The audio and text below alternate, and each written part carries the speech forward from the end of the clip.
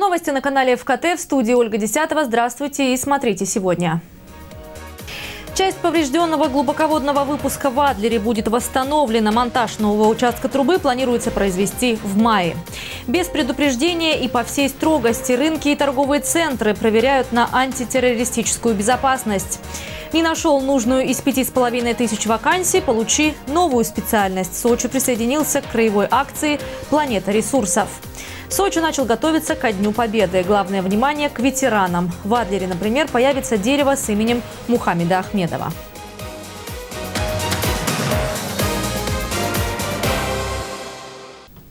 Инвестиционный потенциал Кубани презентуют в Крыму. Сегодня в Ялте стартовал третий международный экономический форум.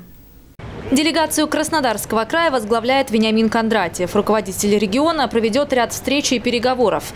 Основные мероприятия запланированы на второй день форума. Ожидается, что губернатор Кубани и глава Республики Крым подпишут соглашение о сотрудничестве в сферах торговли, туризма, науки и культуры. У Крыма и Краснодарского края сегодня, э, наверное, общие проблемы и общие задачи – это развитие курортно-санаторного комплекса. И сегодня я надеюсь, что и завтра мы сможем определенные проблемы обсудить и, может быть, найти их решение.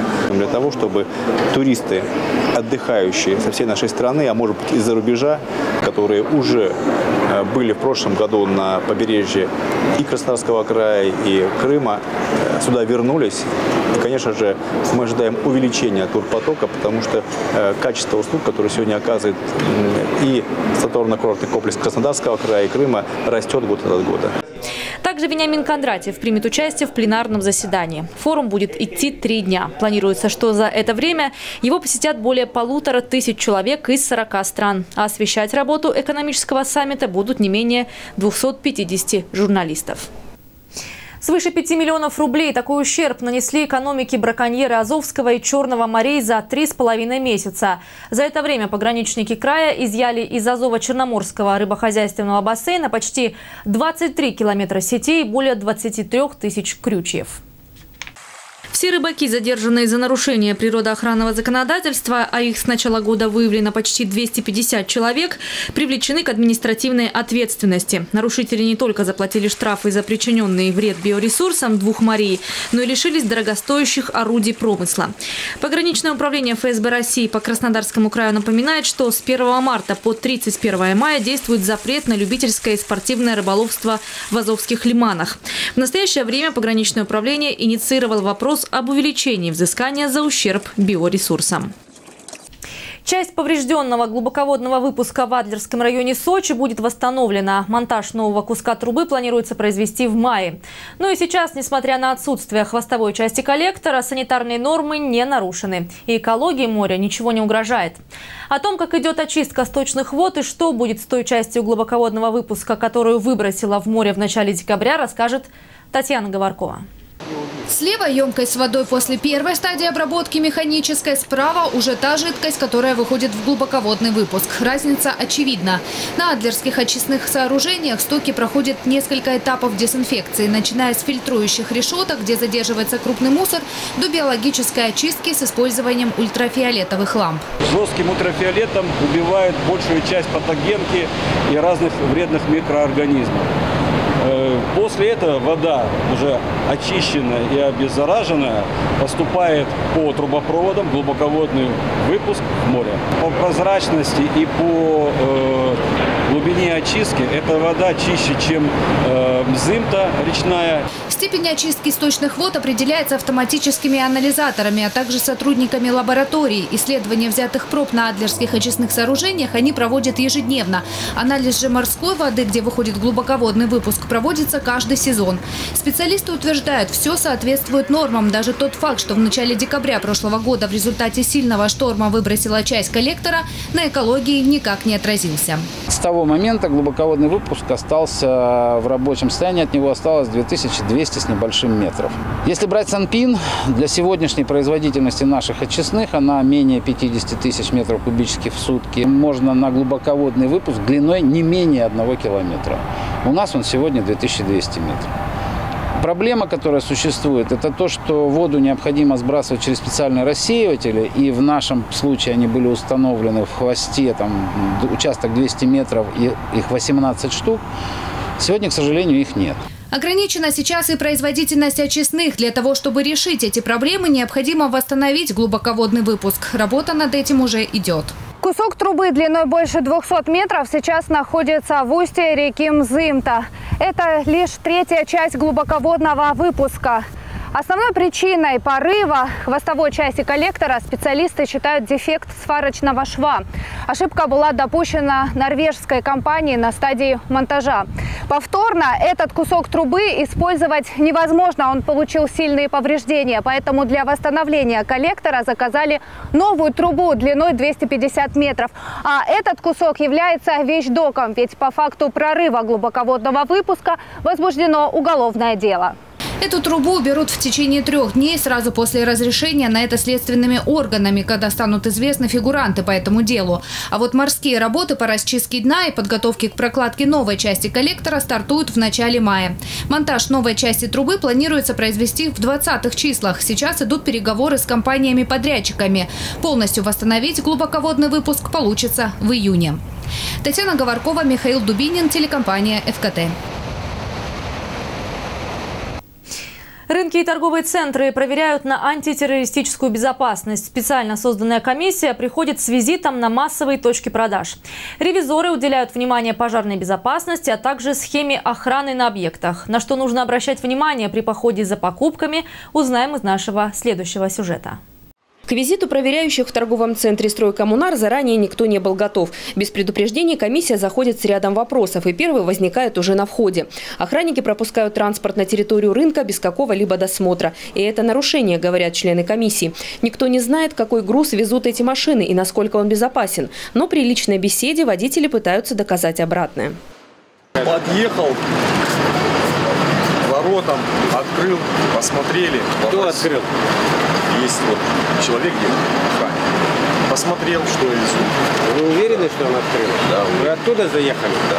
Так он уже 15 минут стоит неподвижно на этих воротах. Объект на безопасность проверяют сотрудники администрации города, полицейские и спасатели. У каждого свои требования. Представители МЧС, к примеру, проверяют наличие огнетушителей, состояние электропроводки, исправность пожарных кранов. Нарушения незначительные, но все же есть. Руководство торгового центра все претензии принимает во внимание и уверяет, что очень быстро все исправит. Хотя соблюдать правила безопасности на территории торгового центра, говорят, старались и раньше. У самого в кабинете стоит это дублер мониторов, все 16 камер, и его охрана смотрит меня вот, ну а так повседневно сами смотрим и оповещаем всех э, реализаторов, чтобы смотрели там за сумками, за посторонними людьми. Требования к торговым площадкам города все одинаковые и утвердили их на заседании антитеррористической комиссии. Безопасность покупателей должны обеспечить руководители рынков и торговых центров, а уже качество работы проконтролирует комиссия.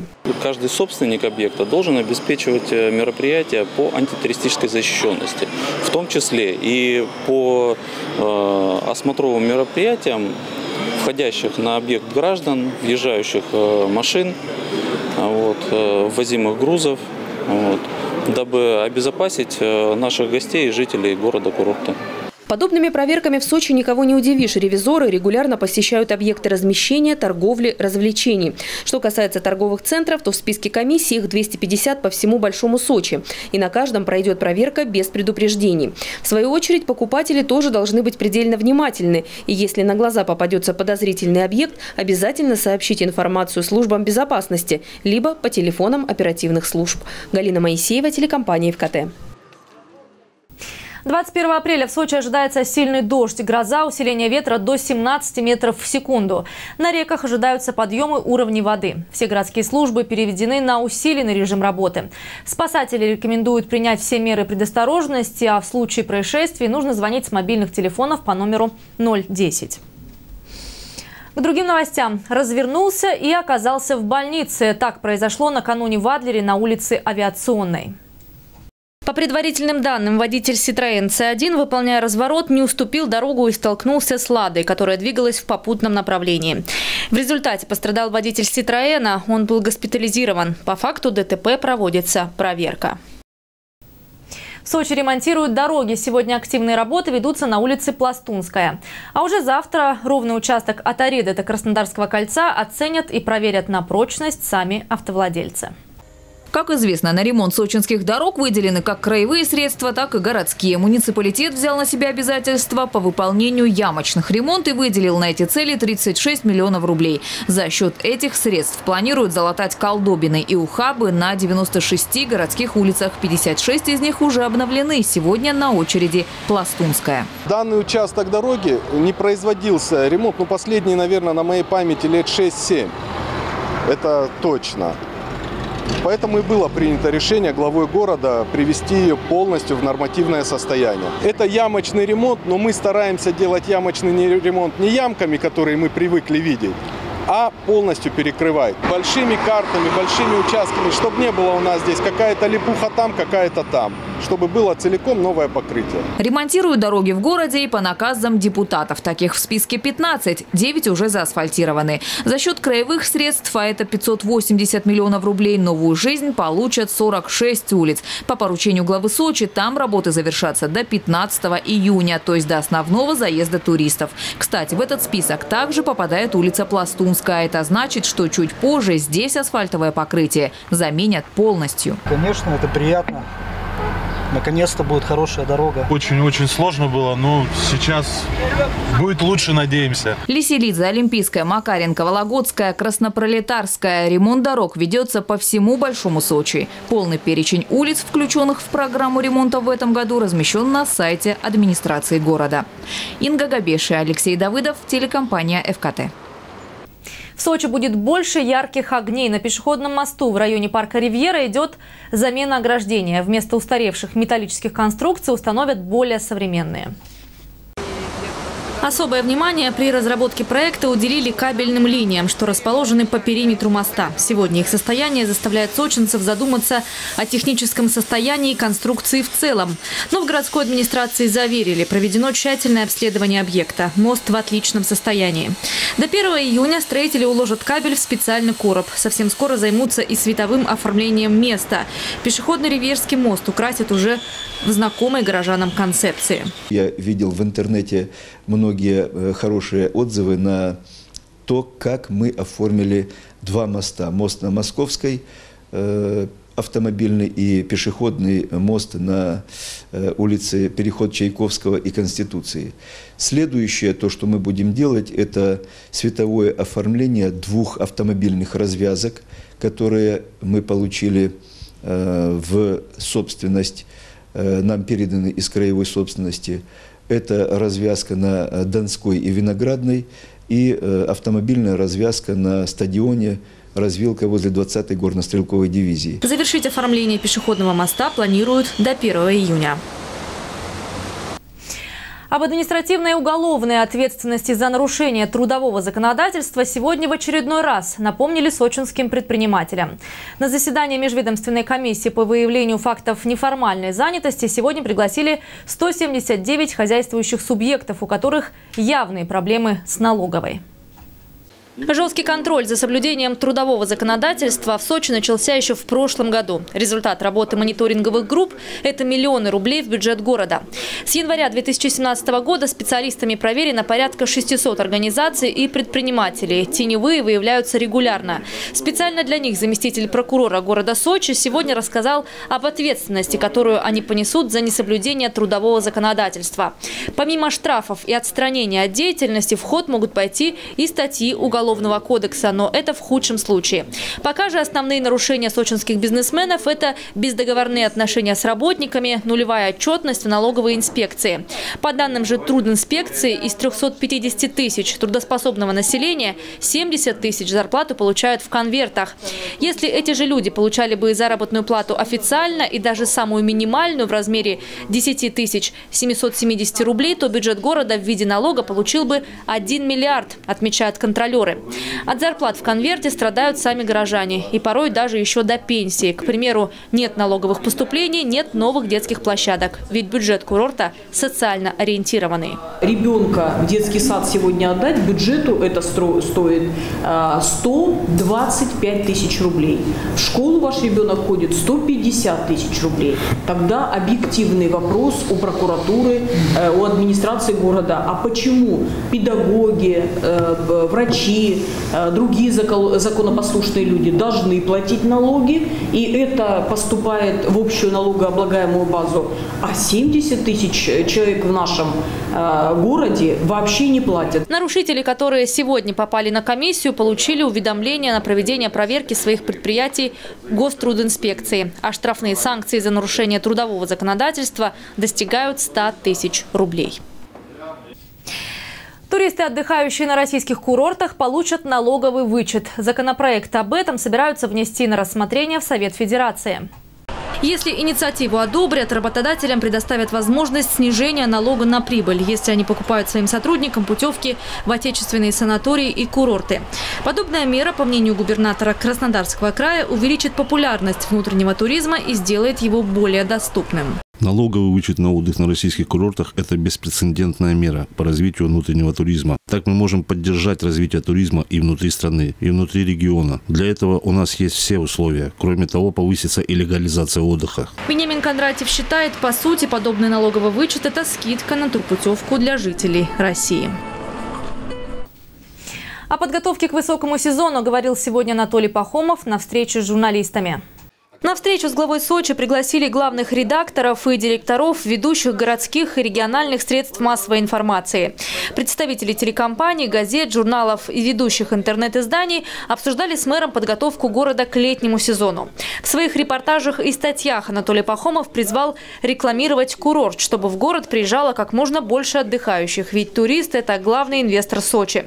Еще больше необходимо рассказывать с телеэкранов и полос газет о тех, кто мешает развитию города города, например, тех, кто вредит экологии курорта, сбрасывая стоки в море, или тех, кто занимается незаконным строительством, тем самым обманывая людей и уродуя облик Сочи. Ну и продолжаем. Сочи присоединился к краевой ярмарке вакансий «Планета ресурсов». Она прошла сегодня в Центре занятости населения города. Свои вакансии представили более 20 компаний курорта. Предприятия санаторно-курортной отрасли, здравоохранения, строительные компании, многофункциональный центр. Вакансии предлагают как для опытных, так и для молодых специалистов. Более 500 предложений. Но всего же в базе Центра занятости более 5,5 тысяч вакансий. Кроме того, здесь помогут получить новую для себя профессию. Центр занятости населения проводит набор на профессиональное обучение безработных граждан граждан по профессиям. Официант, электрогазосварщик, младший воспитатель, повар. Обучение бесплатное. Во время обучения выплачивается стипендия и выдается сертификат специальный э, установленного образца. Сегодня же в рамках краевой акции «Планета ресурсов» прошел тренинг для выпускников. Будущим молодым специалистам рассказали, как правильно составить резюме и как вести себя на собеседовании при устройстве на работу. Добавлю, что такая же ярмарка вакансий сегодня прошла и в Лазаревском районе. Ну а завтра соискатели смогут встретиться работодателями и в Адлере. Ярмарка вакансий пройдет с 13 до 15 часов в районном доме культуры. Известны 10 претендентов на звание талисмана фестиваля молодежи и студентов. Он пройдет осенью в Сочи. Сегодня стартовал этап открытого голосования конкурса на разработку талисмана. В адрес дирекции поступили сотни заявок с идеями и предложениями для нового фестивального символа. Конкурсные работы приходили из разных уголков земного шара. Десять лучших размещены на официальной странице фестиваля ВКонтакте. В течение одной недели пользователи выберут вариант, который и станет талисманом фестиваля. Народное голосование продлится по 27 апреля, а уже 28 будет объявлено имя победителя. Он станет участником фестиваля и в октябре отправится в Сочи. В Сочи началась активная подготовка ко Дню Победы. На улицах города уже появилось тематическое праздничное оформление. Но бесспорно главное – внимание к участникам и ветеранам Великой Отечественной войны. Сегодня ученики Адлерской 25-й школы и наш корреспондент Елена Овсецина побывали в гостях у Мухаммеда Ахмедовича Ахмедова. Здесь гостям всегда рады. Более того, школа находится через дорогу, так что девчонки часто прибегают к участнику Великой Отечественной войны с вопросом, чем помочь. Но 92-летний Ахмедов отшучивается, нужна только моральная поддержка. Тогда все садятся в кружок и расспрашивают, а как все было? А был первый бой под Курском, о котором забыть невозможно. И так вот два года ожесточенных боев и сражений с фашистскими захватчиками. На его счету множество подбитых танков. Награды тому подтверждение. Орден Красной Звезды звезды и орден Великой Отечественной войны первой степени. Целую ночь артиллерия у нас работала, та под Патюшка, потом утром танки пошли, сверху самолеты, мы за танками и прорвали там речку пролили. Ну, с той стороны немцев тоже много потерь было, там вот так. Родился Ахмедов в 1924 году в узбекском городе Бухара. Затем жил и учился в Таджикистане. Работал учителем начальных классов, редактором газеты «Ленинским путем», после чего и был призван на фронт. Но сначала Орловское военно-пехотное училище, где готовили командиров отделений. В Западной Украине был ранен и в госпитале уже узнал о победе. Пять лет мы уже дружим с ним. Все э, городские мероприятия, которые проводятся, мы всегда вместе с ним. Э, мы два года уже вместе с ним проходим бессмертный полк. Вместе с нами он начинает, потом ему тяжело идти. Мы его отвозим туда, на площадь, сами идем и встречаемся с ним уже на площади у памятника наших погибших воинов. Иногда Ахмедов сам приходит к ученикам. Вот перед 9 мая планируется посадка дерева в школьном дворе с именем ветерана. А школьники его искренне любят за то, что понимает их с полуслова и за чувство юмора. Он может рассказать то, что никто не может рассказать. Он жил тогда, когда я не жила, когда меня еще в помине не было. И слушать вот то, какая тогда была жизнь, какие тогда были юные люди, какие тогда были более взрослые люди. И вся эта атмосфера через его слова передается. Все это можно увидеть как будто своими глазами. И это неописуемо. Мухаммед Ахмедович говорит, дети, внуки и книги не дают скучать. Литературы у него много, он с интересом рассказывает о каждой из книг, темы самые разнообразные. Читает и современных писателей, и военных, любит исторические романы. Не скучаешь с книгами постоянно, поэтому я им всегда говорю, читайте, читайте, читайте. Школьники его всегда слушают, причем с большим вниманием. И даже здесь, на улице, когда уже пора бы сказать друг другу «до свидания», они планируют совместное проведение Дня Победы. В этом году бессмертный полк украсит белые бумажные магнолии. Сейчас все школьники города изготавливают 18 707 штук. Ровно столько сочинцев ушло на фронт. Елена Овсецина, Николай Тихонов, телекомпания «ФКТ». Ну и в завершение выпуска информации от наших партнеров. Стоматология Скаковский работает по принципу 3П – порядочность, последовательность, профессионализм. Оказывает все виды стоматологических услуг. Ну а все новости уже на нашем сайте fkt.com. В студии была Ольга Десятова. Всего доброго и до встречи в эфире.